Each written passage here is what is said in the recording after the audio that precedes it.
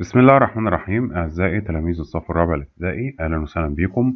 معكم مستر عمرو مدين. إن شاء الله النهاردة هنشرح lesson 3 في concept 1 2 هو lesson قصير جدا يعني اللي هو بيتكلم على حيوان معين كده اسمه اللي هو الجربوع. وهنعرف إزاي إن الجربوع دي بتحس بالخطر وتتجنبه عن طريق إن هي بتستخدم sensory receptors طبعا اللي هي متصلة بال nervous system تمام. في البداية طبعا إحنا كالعادة بقول إن بيبقى في key vocabulary اللي هي مصطلحات أو اللي هي في بعض الكلمات الجديدة علينا ممكن نبص عليها لو في حاجة وقفت معانا. آه تاني حاجة بيبقى موجود في رابط تحميل اللي هو الملف PDF وكمان اللي بيبان له الخط قصير. أنا طبعا بحاول أعمل zoom على قد ما أقدر لكن هو ممكن يعمل full screen من على آه اليوتيوب نفسه فيقدر يشوف اللي هي الحاجة بشكل كويس. طبعا إحنا كنا اتفقنا مع بعضنا المرة اللي فاتت إن إحنا بيبقى حوالينا طول الوقت stimuli stimuli اللي هي المؤثرات. تمام؟ وقلنا المؤثرات دي يا إما تكون internal يعني من داخل جسمنا زي الشعور مثلا جوع بعطش بألم بأي حاجة أو external اللي هو مثلا إحساس بصوت عالي بضوء عالي بخطر جاي ناحيتي أو هكذا. المهم اللي بي اللي بياخد أو بيستقبل ال stimuli وخاصة اللي هي ال external بتبقى حاجة اسمها sensory receptors اللي هي مستقبلات الحس. طيب مستقبلات الحس دي بتبقى موجودة فين؟ بتبقى موجودة في ال sense organ اللي هي أعضاء الإحساس زي الآي والإير والنوز والتانج والسكان تمام يا شباب؟ فهنا بقى بيقول لي آه طبعا بعد ما بتبقى ال sense organs دي بيبقى متوصل بقى ال nerves اللي هي أعصاب والأعصاب كانت بتوصل الرسالة لل spinal cord وال spinal cord أصلا هو عبارة عن مجموعة من الأعصاب فبيروح يوصل لل brain اللي هو المخ. وترجع بقى تاني ال brain يبعت لل spinal cord يبعت لل nerves يبعت لل sense organ عشان يعمل respond respond اللي هي استجابة معينة. فهنا بيكلمني على avoiding danger in human and animals. هنا بيقول لي the different parts of the nervous system اللي هي متمثلة في sensory receptor nerves spinal cord and brain are responsible for sensation اللي هو الإحساس. And delivering the messages واللي هو توصيل الرسائل. يا إما توصيل الرسائل من في الاتجاه ده أو في الاتجاه العكسي يعني الاتجاه ده السنسوري ريسبتور للنيرفز للسباينال كورد للبرين أو من البرين للسباينال كورد للنيرفز للسنسوري ريسبتورز تمام؟ طب هي الحاجات دي كلها مسؤولة عن الإحساس. أولا إحنا لازم نتذكر أو نرجع نقول إن عنوان الدرس أصلا sensing the environment اللي هو الإحساس بالبيئة يعني إحساس بالمؤثرات اللي موجودة حواليا والخطر اللي ممكن يهدد حياتي سواء كنت إنسان أو زي ما بيحصل في بعض الحيوانات. أنا هتكلم النهاردة عن حيوان معين ونطبق عليه المثال اللي هو تجنب الخطر وإزاي الأجزاء بتاع ال nervous system بتاعته بتساعده في تجنب الخطر ده.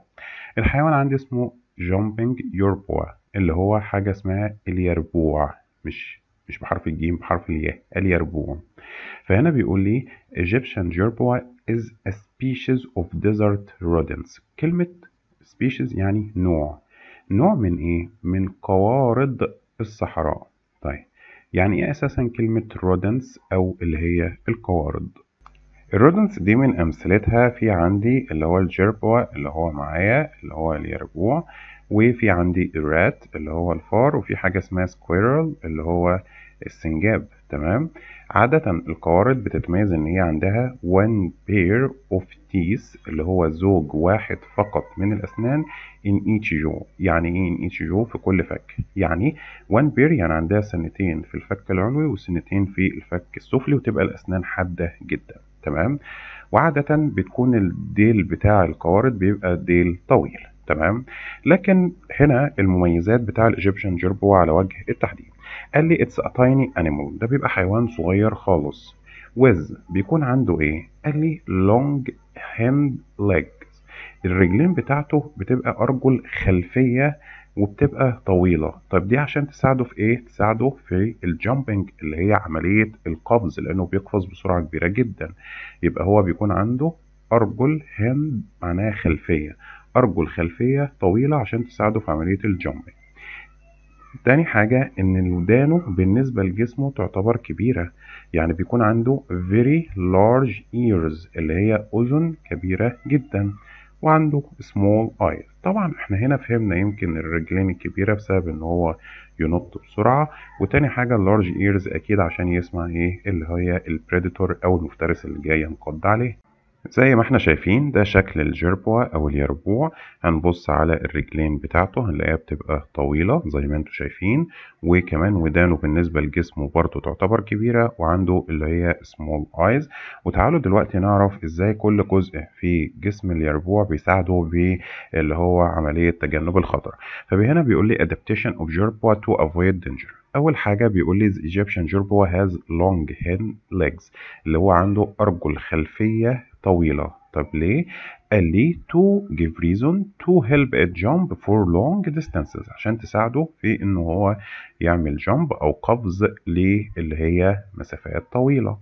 تاني حاجة اللي بيقول لي الجربوة feet and tooth اللي هي الأرجل بتاعته والأصابع بيكون فيها hair. نخلي بالنا من المعلومة دي قوي. اللي هي الرجلين بتاعته من هنا كده بيكون فيها شعر. طيب ليه؟ قال لي عشان الشعر ده يقدر يعمل أو إن هو catch sand يقدر يشيل في رجله اللي هي بعض الرمل أو التراب وهو بي إيه؟ بيقفز. طب دي هتفيده في إيه؟ ما تخيل كده وهو بيقفز من على الأرض خد شوية sand في رجليه فلما ينزلوا على عين ال predator أو اللي هو العين بتاع اللي هو المفترس بتاعه أكيد هيخلوه مش هيشوف كأنك جبت شوية تراب وحدفتهم في عين حد أكيد طبعا مش هيشوف. فالرجلين بتاعته والأصابع بيكون فيها شعر وده بيساعده إن هو يطلع فيها شوية رمل ف وهو بيقفز فيقدر يرشهم على الفريسة فما المفترس فما يشوفوش ويشتت الرؤية بتاعته أو يقلل الرؤية بتاعته عشان يلحق يهرب منه. تالت حاجة بيقول لي it hops. hops زي كلمة jump معناها إن هو بيقفز in zigzag path اللي هي في مسارات زجزاج اللي هي بتبقى عاملة كده تمام؟ بحيث إن هو إيه؟ قال لي to be able run away quickly إن هو يقدر يمشي بسرعة from danger أو إن هو يهرب سريعا من الخطر اللي عليه تمام؟ عشان يبقى يعني صعب ان يحصل control عليه. بعد كده بيقول لي jerboa has large ears اللي هو ودانه بتبقى كبيرة. قال لي so it can hear the snakes. لأن ال predator بتاعه هو ال snake المفترس بتاعه هو الثعبان فيقدر يسمعه even if they are small حتى لو هم صغيرين. يعني حتى لو التعابين دي اللي هي تعتبر لسه صغيرة أو مش باين لها صوت قوي فالودان بتاعته بتقدر تجمع الأصوات وتسمعها بشكل واضح. السؤال هنا بعد ما عرفنا ال adaptation بتاع كل جزء من جسمه إزاي بقى الأجزاء بتاع جسمه دي بتشتغل مع بعضها عشان تنفذ عملية الهروب من الخطر اللي عليه اللي هو بيتمثل يتمثل في السنين هنا بيقول لي how do all parts of your body work together كيف تعمل كل أجزاء جسم اليربوع؟ هنا بيقول لي بقى إيه؟ the sensory receptor in jerboa ear. يعني الموضوع بيبدأ منين؟ من الأذن بتاعته. send a message بتبعت رسالة through a network of nerves. بتبعت طبعا ال sensory receptor بتبعت رسالة عن طريق ال nerves لمين؟ لل brain بعد كده الجوربوس برين translates يعني بيفسر أو بيترجم the message اللي هي الرسالة. بيفسرها إزاي؟ إن بيعرفوا إن ده خطر. هو ربنا خلقه بالفطرة إن العدو الطبيعي بتاعه أو الناتشورال انمي بتاعه بيتمثل في السنيك فهو المخ بيعرف كده فبيترجم له الرسالة دي. and respond بيجاوب أو بيبدأ بيبقى فيه ردة فعل by alerting. alerting عن طريق تنبيه. ينبه مين؟ ال legs. يبقى شوفوا يا أولاد ال ears سلمت الإشارة لل brain عن طريق ال nerves وال brain هترجع الإشارة من ال nerves لمين؟ لل legs ليه بقى؟ to start moving. فهنا ال jerboa strong hopping القفز القوي بتاعه اللي هي بتاع رجله start to jump away from danger in zigzag path. ماشي؟ يبقى هو الموضوع بيبتدي من ال ears ال ears بتمشي الرسالة في ال nerves اللي هي الأعصاب. بتوصل لل brain ال brain يعمل translation ويعرف إن ده خطر فيرجع اللي هي ال respond أو الاستجابة في ال nerve لل legs فال legs تبدأ تعمل اللي هي ال strong hopping فبعد كده اللي هو يقدر يمشي في zigzag path وبيقدر يهرب من الفريسة بتاعته. كل ده اللي هي بتعتبر من مكونات ال nervous system أو اللي هو الجهاز العصبي وإن هو بيعمل تنسيق ما بين كل أجزاء الجسم عشان يؤدي لوظيفة معينة وهي هنا وظيفة الهروب. طب تفتكروا يا ولاد مثلا اللي حصل ده كله بياخد دقيقة ولا دقيقتين ولا تلات دقايق؟ طبعا دقيقة أو اتنين أو تلاتة ده معناه خلاص إن الجربوة دي تتاكل خلاص. ده الحاجات دي كلها بتحصل يا ولاد في ثانية أو أقل من ثانية. زي ما إحنا مثلا حد يجي إيه يخبطنا في عينينا كده فبنبعد وشنا. كل ده بيحصل إيه؟ هو الرسالة راحت من ال sensory receptor اللي في عينينا راحت لل brain فال brain رد وقال لنا قال لنا إيه؟ إن إحنا نبعد وشنا. كل ده اسمه reaction time اللي هو زمن رد الفعل.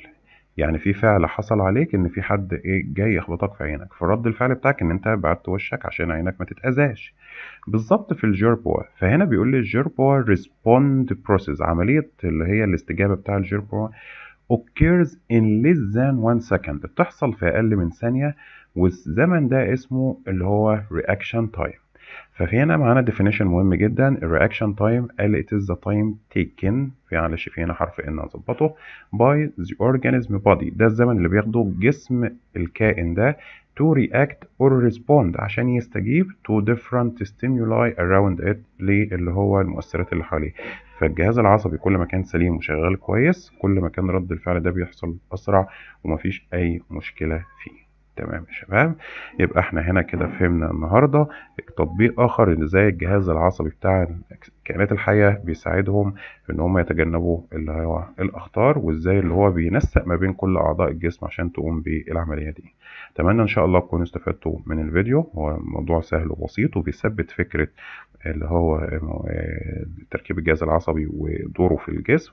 وأتمنى إن شاء الله دعوة أصدقائكم المشاركه في القناة والاستفادة منها. وأخيرا أسألكم الدعاء لوالدي والجميع موتى المسلمين بالرحمة والمغفره شكرا لكم وكان معكم مستر عمرو مديان. السلام عليكم ورحمة الله وبركاته.